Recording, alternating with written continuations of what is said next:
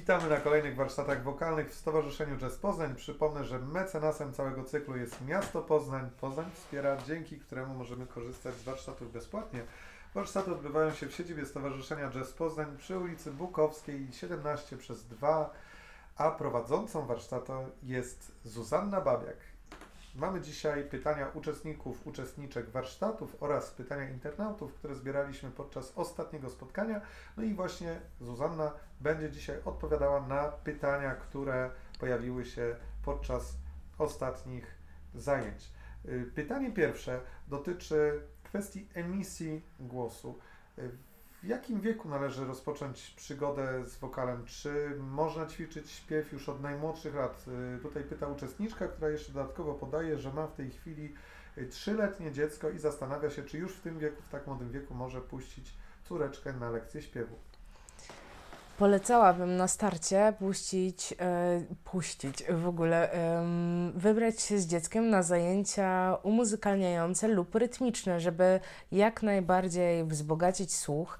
Oczywiście śpiewanie jest mile widziane i można takie zajęcia połączyć. Nie jeden nauczyciel śpiewu prowadzi e, takie zajęcia zbiorowo, że i wprowadzi trochę elementów kształcenia słuchu e, i elementy perkusyjne czy rytmiczne i elementy emisji głosu, więc myślę, że nie ma czegoś takiego jak za wczesny wiek, ale skupiłabym się bardziej na ogólnym umuzykalnieniu tak e, małych pociech.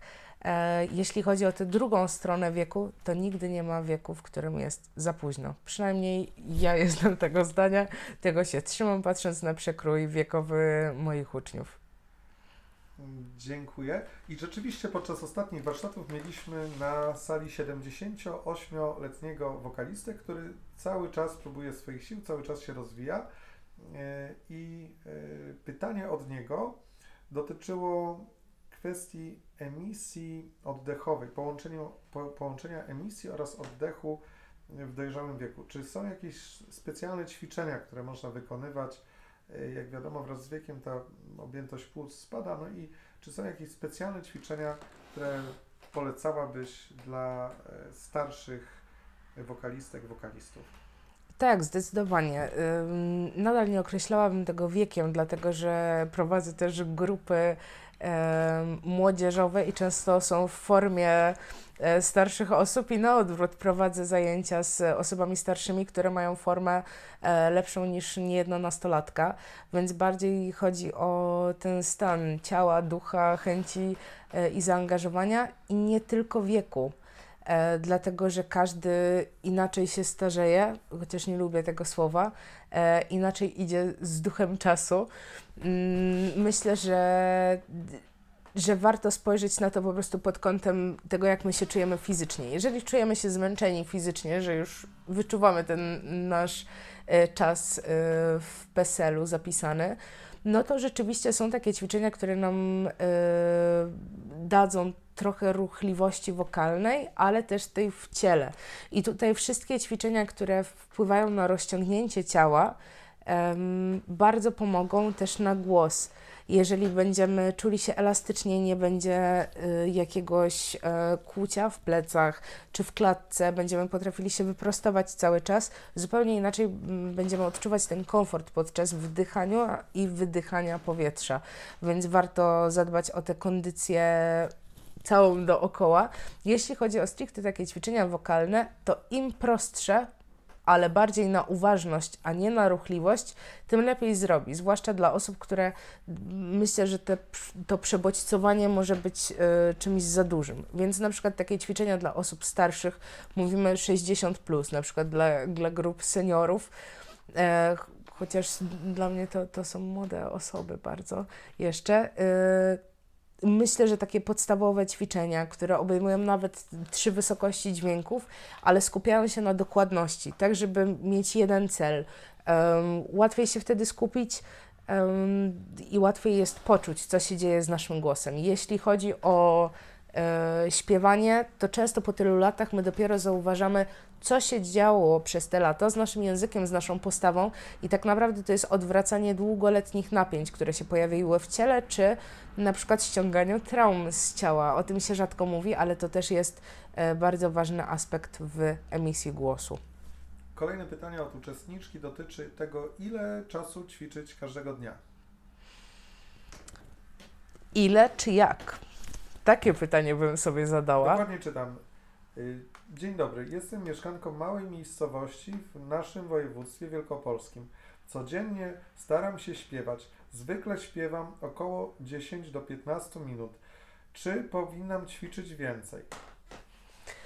Zawsze można więcej, jeżeli ma się na to czas, przestrzeń i ochotę, e, jeżeli ma się na to też możliwości. Jeżeli czujesz na przykład po 10-15 minutach, że boli cię gardło, albo czujesz, że no, masz zajechany po prostu aparat mowy, no to w tym momencie podejrzewam, że to odstawienie ćwiczeń wynika na przykład z średniego użycia głosu, czyli z tego, że ta emisja nie jest do końca klarowna e, i wtedy tym bardziej warto ćwiczyć, żeby można było śpiewać dłużej. Jeżeli to natomiast jest spowodowane tym, że po prostu nie masz więcej czasu na ćwiczenia, i na przykład no średnio masz jak znaleźć czas w ciągu dnia, y, że- żeby ćwiczyć więcej, to po prostu wykorzystaj ten czas jak najbardziej efektywnie. Czyli rozpisz sobie, jakie ćwiczenia i kiedy chcesz wykonywać, w jakich porach dnia masz okienka. To jest super patent na to, żeby znaleźć międzyczas na ćwiczenie.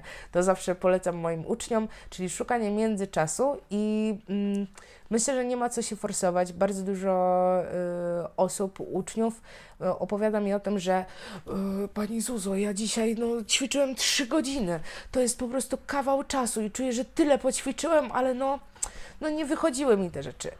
I znowu, niepotrzebny jest tak długi czas do tego, żeby zrobić progres. To, że ćwiczysz regularnie 10 do 15 minut, to i tak może przynieść nawet większy efekt niż ćwiczenie sporadycznie, ale na przykład po godzinę. Więc ta systematyczność to jest wdrażanie mechanizmów w ciało, więc to jest bardzo dobry początek. Rozszerzałabym to. Jeżeli tylko będziesz miała więcej czasu, to zachęcam, żeby sobie wydłużyć em, ten czas ćwiczenia. Myślę, że fajnie poświęcić chociaż pół godziny do godziny dziennie, e, tak żeby świadomie rozwijać głos. Bardzo dziękuję. Kolejne pytanie od uczestnika warsztatów dotyczy zagadnień sylabizacji. Y, Jakie ćwiczenia możesz polecić na e, ćwiczenia prawidłowej dykcji, prawidłowej wymowy i śpiewu? No i takie do- dodatkowo jeszcze dopowiedzenie tego pytania, czy powinienem ćwiczyć z użyciem korka i jak to prawidłowo robić? To od razu mam nadzieję, że słuchają tego logopedzi. Od razu powiem, że ćwiczenie z pomocą korka z pewnością nie. Chyba, że na przykład, e, nie wiem, czy powinnam mówić takie rzeczy, otwieramy wino, no to za taką pomocą korka, ewentualnie jeszcze tak, ale na pewno nie wkładając go do buzi i robiąc ćwiczenia na dykcję, dlatego że tworzymy w tym momencie blokadę w buzi, przez co mamy jeszcze większy zacisk, tworzymy więcej napięć i przezwyciężamy tę blokadę, mówimy z tym korkiem, tworząc teoretycznie lepszą dykcję, e, patrząc na stare metody. No więc jak wyciągniemy przeszkodę z buzi, to oczywiście, że mówimy wyraźniej, tylko jakim kosztem? Tworzymy już trwałe napięcia, które później o wiele ciężej jest ściągać. Więc wszystkie przedmioty typu ołówki, korki lub Bóg wie co, e, odrzucamy na bok i działamy przez rozluźnienie. Coraz więcej mówi się o tym i w logopedii, i w śpiewaniu, bo to wszystko jest powiązane. W ogóle w każdej dziedzinie, w której potrzebujemy naszego ciała, aparatu mowy, wszystkiego, co jest związane po prostu z naszym jestestwem. Mówimy o luzie, mówimy o relaksie, mówimy o świadomości. To jest ważne. I tak naprawdę, jeśli chodzi o dobrą dykcję, mamy wszystkie ćwiczenia na czytata, czyta, cyta, tyta, cyta. Mamy y, Baba Ci Koguta dała, mamy takie hity y, wokalne.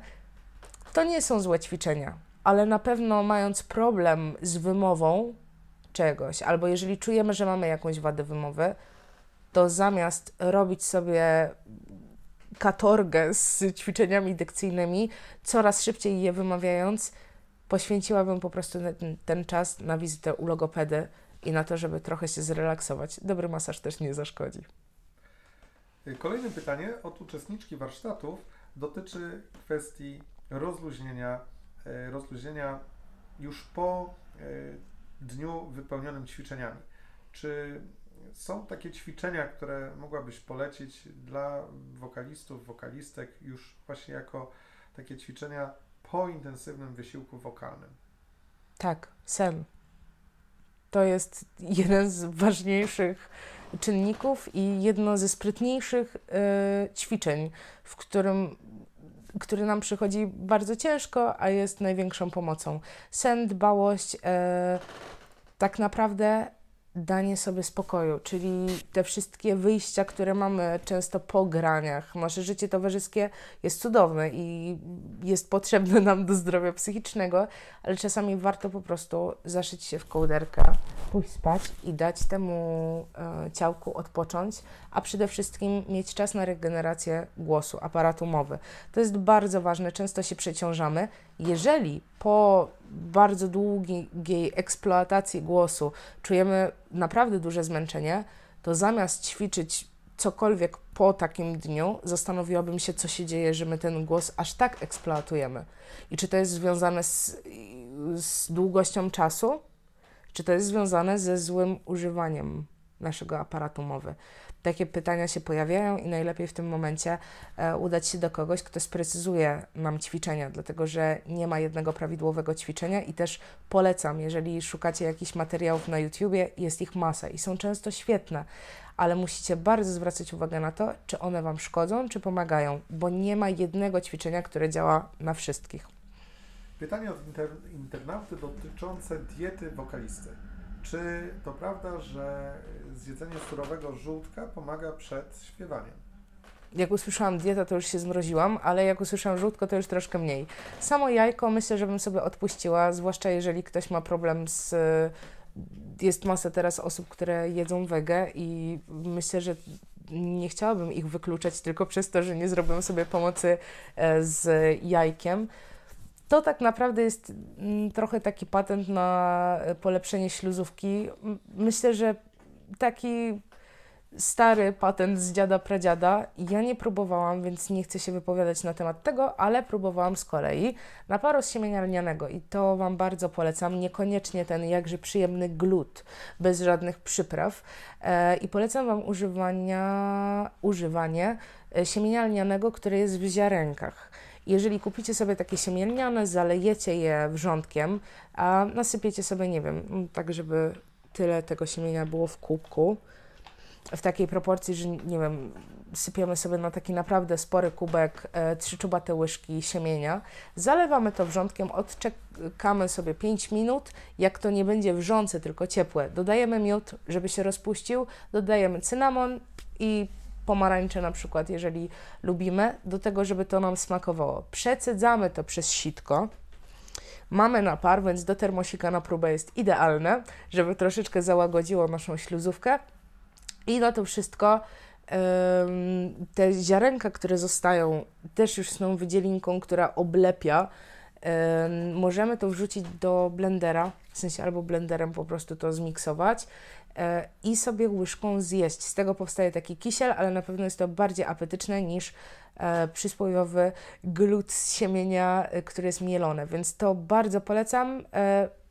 Uważałabym z tym cynamonem, ja to dodaję tylko i wyłącznie do smaku, ale wiem, że to może podrażniać, więc można zrobić sobie wersję basic z tak zwanym po prostu miotkiem i, i też będzie to dobra opcja. I jeszcze pytanie właśnie od tego uczestnika, czy istnieją, czy zalecasz jakieś herbaty, konkretne herbaty, które mogą pomagać e, w codziennej praktyce wokalnej? Trochę jest tak, że herbaty raczej nam nie pomogą. Mogą osuszyć śluzówkę i o tym się mówi, że na przykład czarna herbata, jeszcze do tego jak ktoś lubi pić mocną, może bardzo osuszyć śluzówkę. E, wszystkie skrajne temperatury napojów e, nam nie służą i to nie chodzi mi o to, że nagle będę jedną z tych wokalistek, która Wam powie, Boże, miętowa guma, o nie, ostre, o nie, to szkodzi. Wszystko w umiarze oczywiście, że można. Takich skrajnych rzeczy, które czujemy, że na nas źle działają, no lepiej przed graniem, przed jakimś występem czy próbą, no, no po prostu znamy swój organizm, no nie używać tego, nie jeść, nie przyjmować, ale yy, wracając, E, Myślę, że o tak, właśnie. o herbaty, e, wracając do herbat, z tego co słyszałam, nie chcę tutaj prawić morałów, bo nie jestem zielarką, ale biała herbata chyba jest jedną z tych mniej podrażniających i osuszających i na pewno nie przeciąganie typu maczetka przez jeden dzień w tej herbacie no nie może stać, tylko robimy sobie lekką herbatkę, to jak najbardziej. Pamiętajcie, że jest masa naparów, które można pić, po prostu nie pijcie wrzątku, bo to nie zawsze dobrze zadziała. E, I i zobaczcie, co na Was działa, dlatego że jest masa takich rzeczy, o których się mówi, że szkodzą, a tak naprawdę to jest kwestia osoby, a nie tego, że zawsze to szkodzi. Bardzo dziękujemy. Prowadzącą dzisiejsze warsztaty była Zuzanna Babiak, a my jednocześnie dziękujemy miastu Poznań, które wspiera cykl działań kulturotwórczych mających na celu poszerzenie oferty kulturalnej miasta Poznania realizowanych przez Stowarzyszenie Jazz Poznań w roku 2022. Poznań wspiera